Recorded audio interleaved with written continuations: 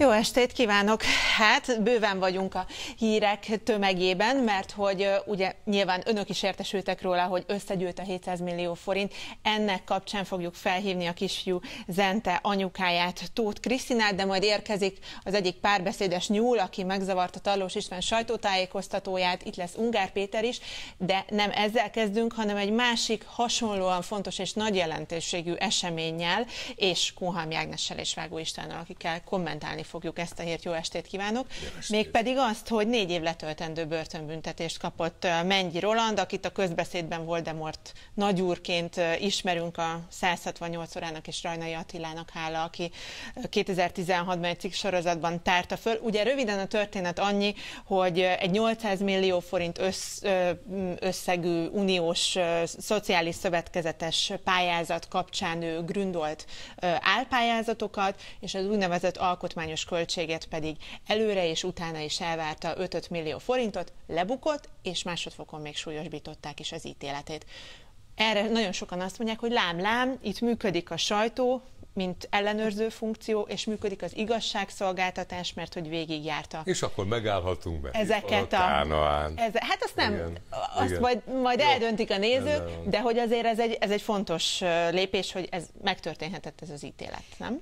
Hát körülbelül amit ön elmondott szerkesztő, az, hogy ezért is csinálja a Fidesz. Tehát, hogy megmutassa azt most a nyugat felé, leginkább az Európai Unió felé, ahol versenyben van egy trócsányi, hogy megkapja azt a bizonyos pozíciót vagy sem, hogy lám-lám itt minden rendben van. Ó, azért az elég összeesküvés elméletszagú, hogy úgy van időzítve a másodfok, Ó, hát hogy egyértelműen. ez egy, évek, ez egy évekkel ezelőtt kezdődött ügy, a, a, vagy talán még több is. Vagy 2016. augusztusában indult. Tehát sok évvel ezelőtt kezdődött ügy, és valahogy nem nagyon, eléggé, eléggé részletes adatok és kiderültek erről, elég jól dokumentált. Abszolút. Nem csak ennek a, most már ennek a két remek újságírónak köszönhetően, akinek köszönet érte, hiszen egy ország előtt lepleződött az le, Attila, és igen. tárt, vagy került a nyilvánosság elő, hogy valójában hogy működik a Fideszes uniós pénzek ellopása minden szinten, a legalsó szinteken is, tehát a mezei országgyűlési képviselők is a saját kis holdudvarukba, teritoriumokba, ami felett rendelkeznek, hogyan buherálnak a pénzekkel. Ez is kiderült, most viszont, hogy hirtelen ezt az ügyben döntés született, és hogy súlyosbítás történt, az szerintem egyértelműen azzal függhető össze, legalábbis én azokkal értek egyet, akik azt mondják, hogy bizony-bizony az Európai Unióban most nagyon megpróbál jó fiúnak látszódni a Fidesz, hogy megkapja azokat a pozíciókat, amire ő átsingózik, mert hát sokan nem szeretnék ezt. Ebben egyetértés van? Att, attól tartok, igen, bocsánatot kérek, igen. Ez nem feltétlenül vita. Kunhandi kolléginával értek most kivételesen egyet, és egy megjegyzésem lenne ahhoz, amit Emilia mondott. Nevezetesen, hogy, hogy vajon éppen most miért történik. Hogy igaz-e az, hogy a sajtónak köszönhető ennek az ügynek a kipattanása. Magyarországon az elmúlt kilenc évben a sajtónak nem követ. Meg kellene kérdezni olyanokat, akik nem minket néznek állandóan, hogy tudják-e, hogy miről van szó. Ez a kormánypárti sajtóban, vagy a propaganda sajtóban, akárhogy nevezzük, ez nem jelent meg. Mennyi Rolandról, Rolandról nem volt szó. De most úgy csinálnak, és egyetértek ezzel az olvasattal, hogy most tényleg úgy csinálnak, mintha ez a sajtónak lenne köszönhető, mert nálunk ugye Orbán Viktor is megmondta, sajtószabadság van, és felelős. De az a része tényleg a sajtónak köszönhető, hogy ez kiverte a biztosítékot? Ez, ez, ez így van. Az újságíró Tehát utána Rajnai, járt... Rajnai Attila érdemeit én nem akarom csorbítani. De hogy ez a mainstream sajtóban nem került bele, én csak ezt mondom. Tehát az átlag magyar választó erről az ügyről én szerintem nem hallott. Meg még egy, igen, és van ennek még egy másik vetülete is, ha már boncolgatjuk, hogy azért itt nagyon sok olyan ügy van, amit az Európai Unió javasolt a kormánynak, hogy ki kellene vizsgálni, tehát utána kellene menni, és nem nagyon mennek utána. Tehát, hogy miért pont ez az ügy? Tehát nyilván nem egy olyan ügyet vesznek elő, szegény mennyi Roland, nem szegény, de hogy még az ág is húzza, hogy pont olyannak úgynevezett pellengére állítani, akit nem az Unió, tehát azért a Tiborccal kapcsolatban, a családtagok vagyonosodásával, és még van egy csomó olyan ügy, ami, ami, ami, amit az Unió azért folyamatosan jelez, hogy vádat kellene emelni, vagy legalább vizsgálatot kellene indítani előtte, és nem nagyon történik semmi, minden elakad a Fideszes legfőbb ügyész. És ugye az ügyészség meg mindig elmondja, bocsánat, hogy nálunk magasabb arányban emelnek vádat, mint a, a ezt többi. Én, ezt én nem erre, de hogy nem, erre mindig hivatkozik a legfőbb ügyészség. Hogy micsoda? Hogy magasabb arányban történik az Olaf jelentések után vádemelés, mint általában. Hmm. Aztán az, hogy, hogy mi történik, Igen. és hogy ebből lesz a nyomozás hát, és ítélet, az más kérdés. Ezt elmondták, persze. ez furcsa. Nem csak azt akartam még közbevetni röviden, hogy a Mennyi Roland ügy ügyészségi minősítése szinte szó szerint azonos a, a Tiborcéval. Tehát ez a, ez a... Különösen nagy vagyoni hátrányt okozó bűnszövetségben elkövetett költségvetési csalás büntetének kísérlete és más bűncselekmények miatt ez a mennyi? Na de hát tudjuk, hogy az Olaf is így minősítette az Elios ügyet. Szinte szó szerint ugyanezt. És ott nem történik semmi. Van egy nagyon fontos hozadék a mi számunkra ennek a, ennek a, ennek a büntetésemelésnek, hogy leírták pontosan, hogy hogyan történt az eset. Tehát, hogy valaki kitalálta, ahogy ezt elmondta az elején is, biztos, hogy ez az egyetlen, vagy így történik ez nagyobb ö, hogy mondjam, magasabb szinteken is? Én szerintem igen. Ez egy, ez egy modell, amit mi látunk a Mennyi ügyben, az egy modell, ahogy ez az országban működik.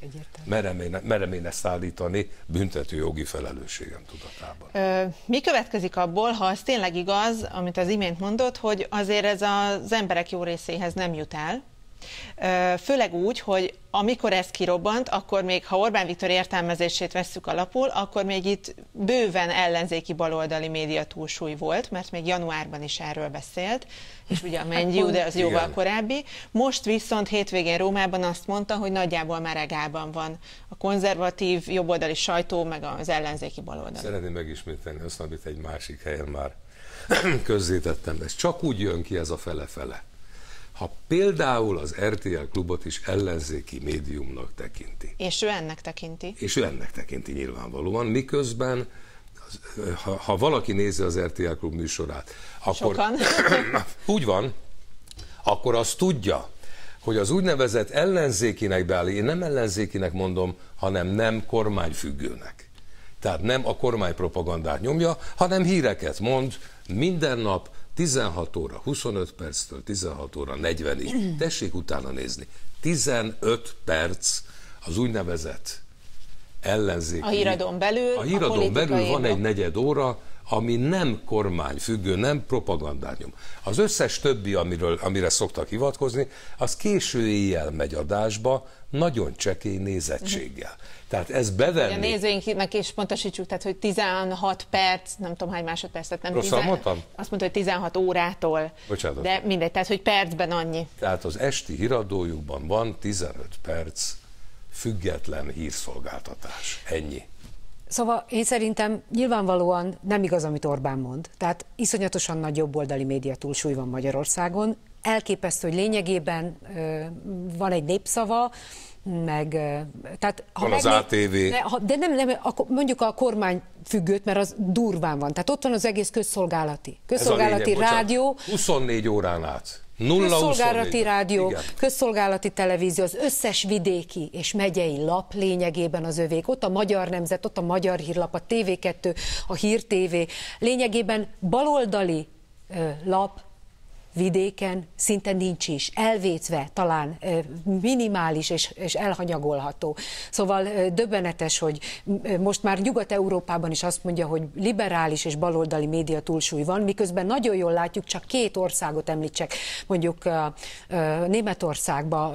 Ki is írtam a számokat, hogy a Frankfurter Allgemeine Zeitungnak, ami egy konzervatív liberális lap, 950 ezer olvasója van, miközben a Frankfurter Rumschau vannak, annak meg 142. Tehát konzervatív lapok, amik kritizálják Orbánt, vagy ott van a francia Le Figaro, tipikusan konzervatív lap, állandóan kritizálják Orbánt, vagy Itáliában a La Stampa, az is egy konzervatív lap, és azt kell megérteni, hogy Orbánnak jelen pillanatban, ami nem szélső jobboldali, tehát az Orbáni nézőpontból, a szélső jobboldali nézőpontból a konzervatív liberális lapok, vagyis a tisztán konzervatív demokratikus lapok is ö, ö, ö, baloldalinak számítanak, mint hogy számtalan Nyugat-Európában jobboldali politikust lekommunistázott, Igen, pont ezt akartam mondani, hogy az, az egy, megint egy nagyon árnyalt, de nagyon fontos lenne, hogy így közelítsük meg, hogy az, hogy valami kormánypárti vagy ellenzéki, az nem attól még ideológiailag lehet, tehát hogy fideszes, vagy Kormány konzervatív kritikát fogalmaz meg, vagy, vagy független, vagy baloldali, ezek mind-mind megint igen. különböző árnyalatok. Úgy van. Persze. Igen, Orbán szereti magát kereszténynek és demokratának nevezni.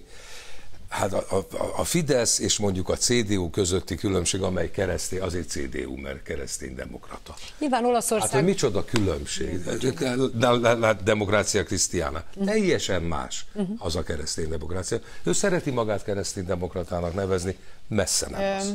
Mi következik ebből az önkormányzati választásokra nézve? Nyilván kevesebb a felület, de hogyha ö, több helyen váltás van, akkor ezek a kerületi, helyi, városi orgánumok mennyire tudják ellensúlyozni ezeket az országos elérésű csatornák? A legmesszebb menőkig. Nagyon jó a kérdése.